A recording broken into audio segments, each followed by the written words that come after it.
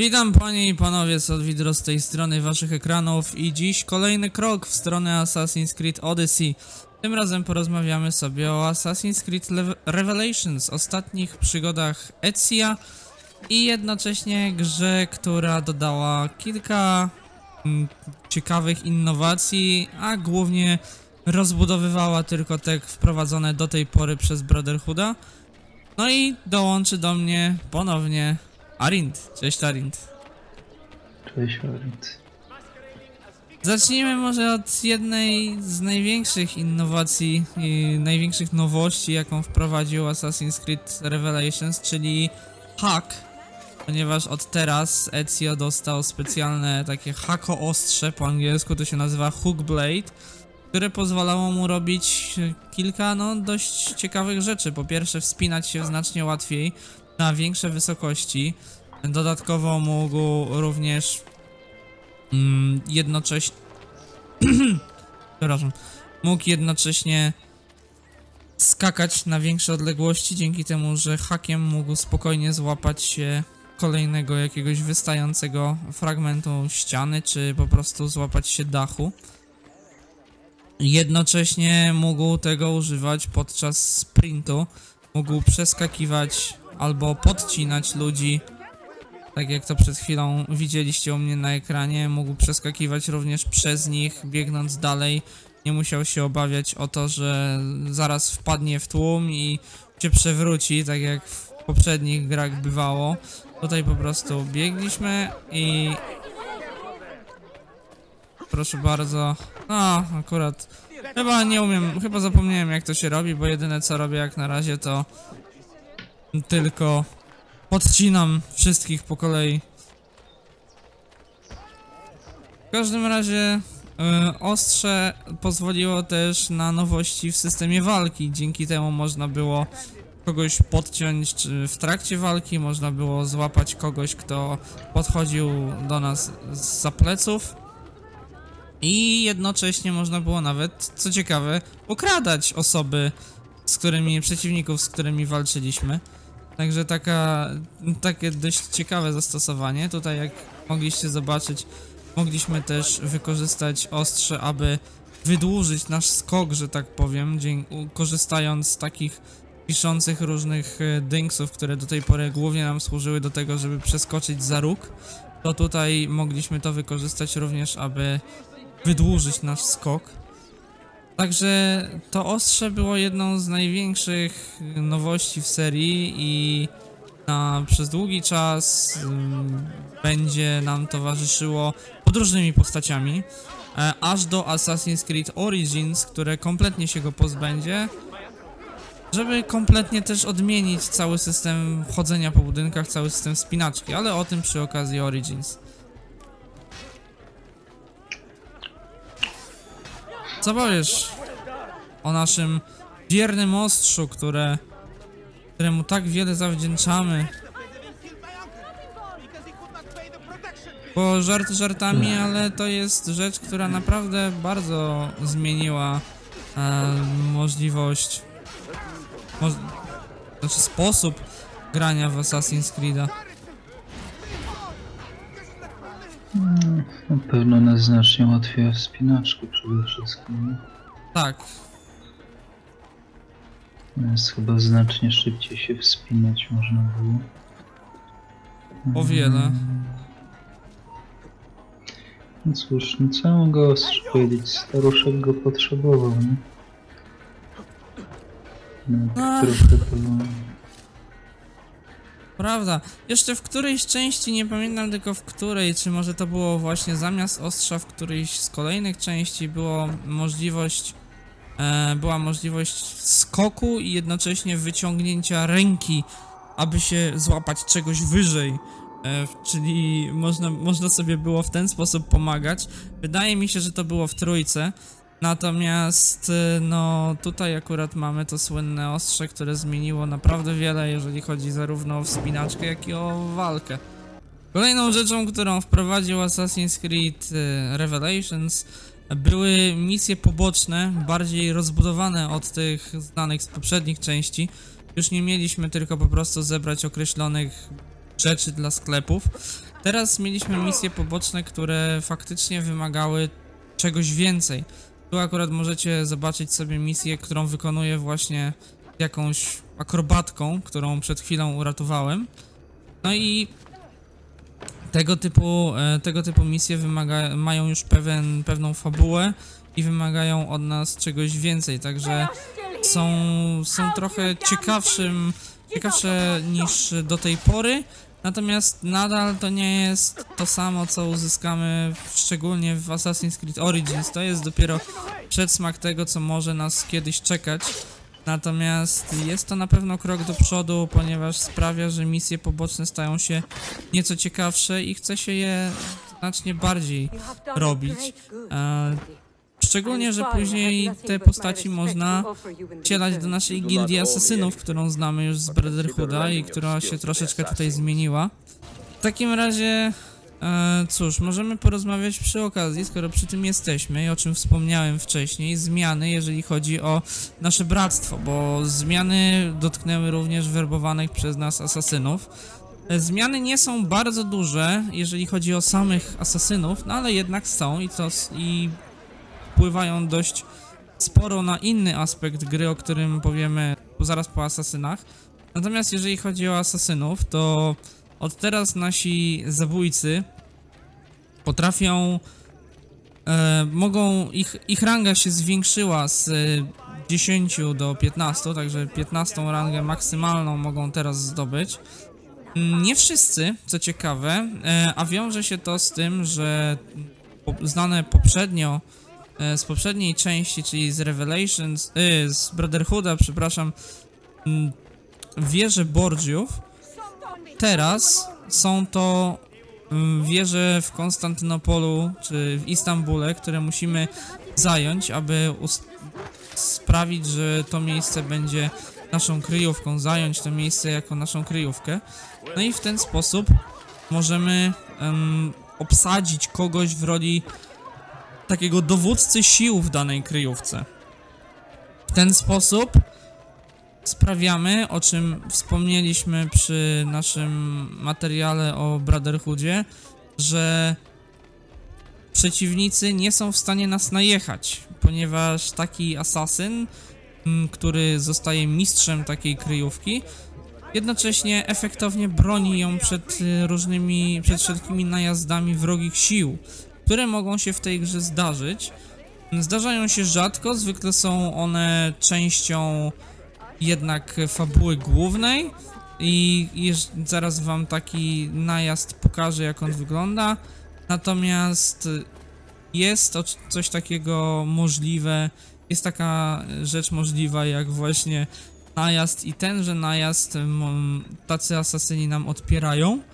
A oprócz tego asasyni mogą również mm, podczas awansu dać nam specjalnego questa. W ten sposób taki quest oczywiście jest nieco losowy, ale możemy, daje nam to możliwość zżycia się trochę bardziej z daną postacią, e, chociaż nadal są to po prostu kolejni asasyni, którzy są kompletnie mm, zrandomizowani, nie ma tutaj, nie mają ani imion konkretnych, ani nic, po prostu losowe imię jej im wybrano, losowy, losowy wygląd i, i tyle.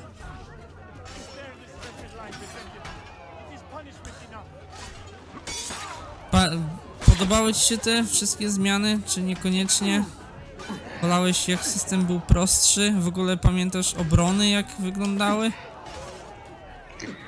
Pamiętam, że się ustawiło asasynów jakoś na dachach i nie pamiętam, czy im się dawało jakiś ekwipunek, czy nie.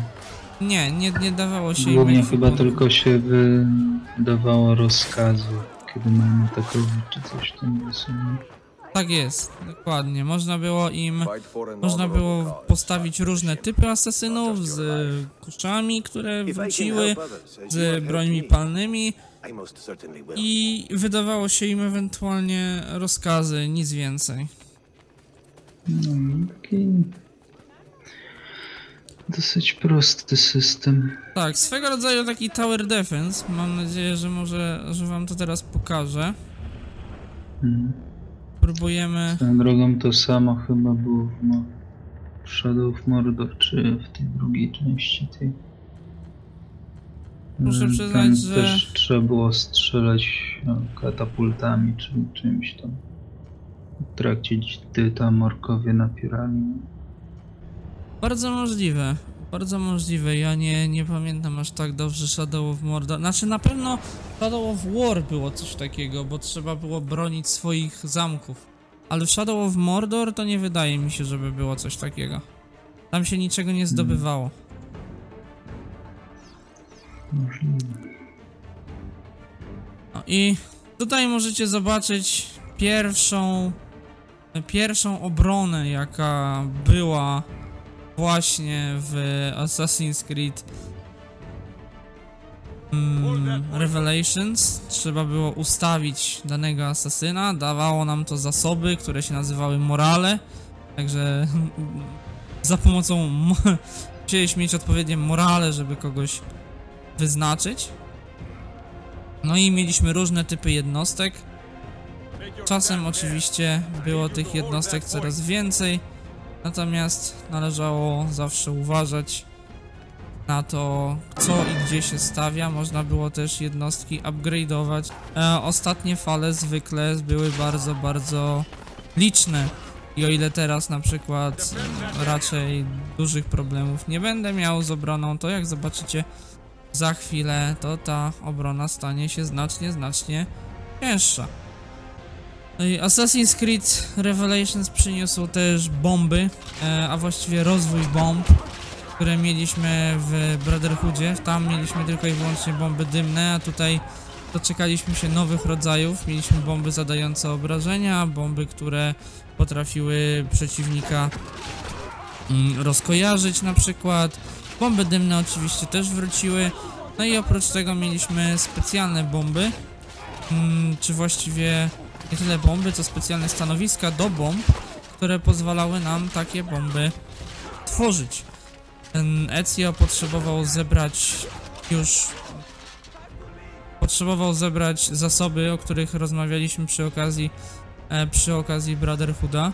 Tym razem te zasoby faktycznie coś robiły, bo w przeciwieństwie do Brotherhooda, gdzie były tylko po to, aby je ewentualnie sprzedać, no to tutaj były wykorzystywane do tworzenia bomb. Można było bomby miksować na różne sposoby, dzięki czemu otrzymywaliśmy czasami e, różne mieszanki, których się nie spodziewaliśmy, a ponieważ bomb, całych mieszanek tych bomb było bardzo, bardzo dużo, no to a było, to czasami potrafiły być naprawdę e, interesujące, e, interesujące mieszanki nam z tego wyjść.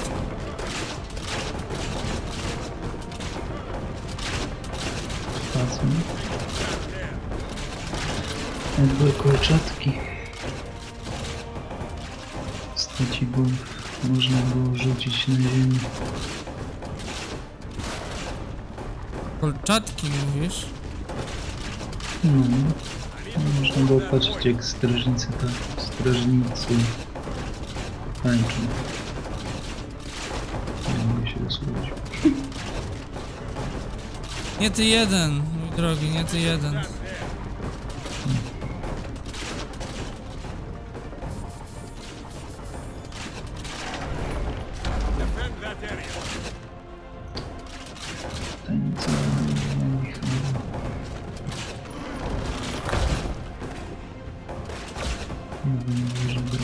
Brzydki.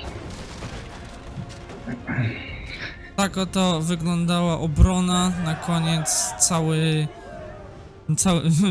ostatnia fala to był jeden wielki taran, który po prostu podjechał sobie i zaatakował naszą główną bazę. Także cóż, szczerze powiedziawszy, jedyna jeszcze nowość, która przychodzi mi do głowy, którą pamiętam całkiem dobrze z Revelations, to były spadochrony. Spadochrony, które z jakiegoś powodu nagle znalazły się w grze, nikt nie wie po co ani dlaczego. A szczególnie, że no, że dzięki hakowi to raczej Ezio był w stanie spokojnie z każdej większej wysokości spaść i gdzieś tam się zaczepić po drodze, raczej nic mu się nie stało. E, natomiast to w haki by, znaczy nie haki, tylko spadochrony były wykorzystywane podczas niektórych misji głównych. O, proszę bardzo, taki spadochronik sobie możemy otworzyć i wylądować w dowolnym miejscu. Spadochronów mamy kilka sztuk do, e, do zdobycia, znaczy do zdobycia, do przenoszenia. Szczerze powiedziawszy, to chyba wszystko, co dał nam Assassin's Creed, e, s- Assassin's Creed ten Revelations. Główna innowacja, główna nowość to jest właśnie ten hack, który w różnych formach e, pojawi się w każdej części, który ułatwia nam wspinaczkę, ułatwia nam, usprawnia nam rozgrywkę. E, w każdym razie większość tak naprawdę zmian zaprowadzonych w Revelations to są raczej zmiany kosmetyczne, usprawnili to czy tamto i wiele tutaj takich istotnych zmian nie było. Oczywiście przynajmniej tutaj były zmiany, bo w Assassin's Creed Rogue nie mieliśmy zmian prawie żadnych, a jeżeli w ogóle jakiekolwiek w przeciwieństwie do, w porównaniu do Black Flaga, no bo Rogue czerpał garściami Black Flaga i tak naprawdę jedyne co tam zostało dodane to nowa główna postać i trochę kampanii dziejącej się pomiędzy e, Black Flagiem a Unity.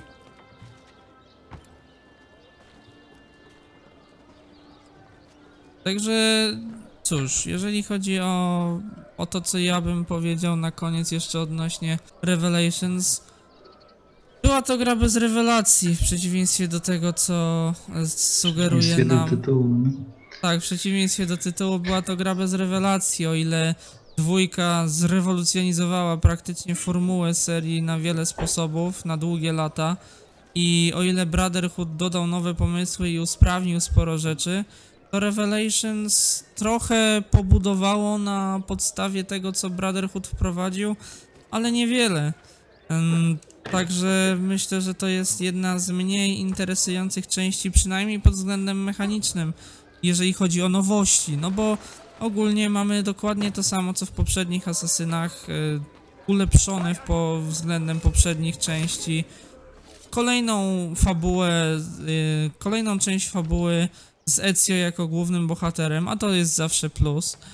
No i cóż, dobrze, w takim razie z naszej strony to tyle, jeżeli chodzi o Assassin's Creed Revelations. Dajcie znać, czy wam się ta gra podoba, czy może przegapiliśmy coś ważnego z mechanizmów, które zostały w tej grze umieszczone. Czy jest coś, co Wam konkretnie się podobało? Może mm, dla Was na przykład rozbudowa systemu asasynów to jest coś, było coś ciekawego, a może jak chyba wszyscy lubicie nasze małe e, hu- huko, hako ostrze, nasz mały hookblade. Mm, No i jak, co wy myśleliście o całym systemie tworzenia, bo, tworzenia bomb i zbierania masy różnych, e, różnych przedmiotów, różnych substancji, które później były do tego wykorzystywane? Dajcie znać w komentarzach. Dzięki Arin, że po raz kolejny byłeś ze mną podczas omawiania kolejnej części Assassin's Creed'a.